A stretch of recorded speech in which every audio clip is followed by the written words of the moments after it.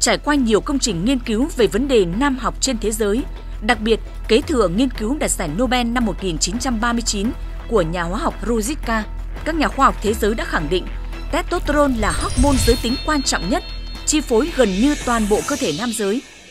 Để đáp ứng nhu cầu hoạt động của cơ thể nam giới, vùng dưới đồi của não bộ tiết ra hormone hướng sinh dục RNRH,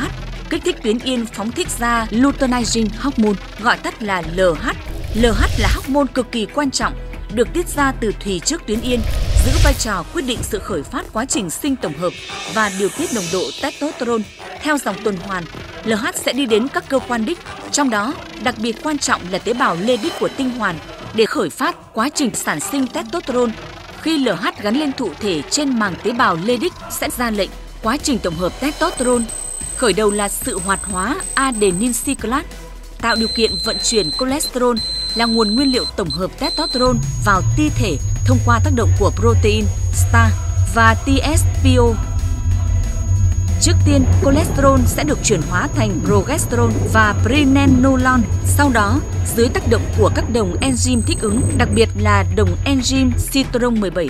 hàng loạt các phản ứng sinh hóa xảy ra để tổng hợp thành testosterone nội sinh, tạo ra mức testosterone thường xuyên ổn định trong khoảng 10 đến 35 nanomol trên lít.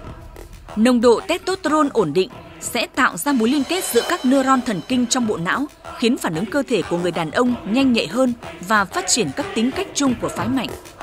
Testosterone duy trì độ bền vững của sức cơ, đồng thời giúp kết cấu xương vững chắc bằng cách tăng hấp thụ canxi.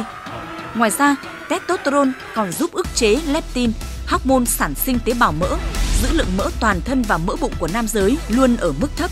Testosterone cũng giữ vai trò ổn định các thành phần cholesterol và đường trong máu, giảm nguy cơ bệnh tim mạch và tiểu đường, tham gia điều chỉnh nhịp thở trong khi ngủ. Testosterone cũng kích thích tủy xương tạo máu, tăng tạo hồng cầu, bạch cầu. Ngoài ra, testosterone kích thích sản sinh tổng hợp protein huyết tương, giảm đề kháng insulin ở tế bào, giúp việc vận hành đưa các chất vào tế bào một cách hiệu quả.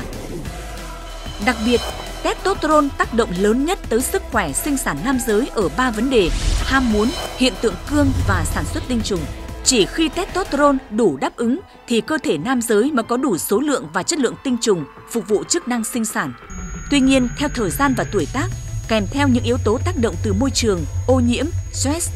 lượng testosterone trong cơ thể nam giới bắt đầu suy giảm. Cụ thể từ sau tuổi 30, lượng testosterone trong máu giảm trung bình 1 đến 2% mỗi năm và chỉ bằng 2 phần 3 so với bình thường ở tuổi 50 và còn một nửa ở tuổi 70.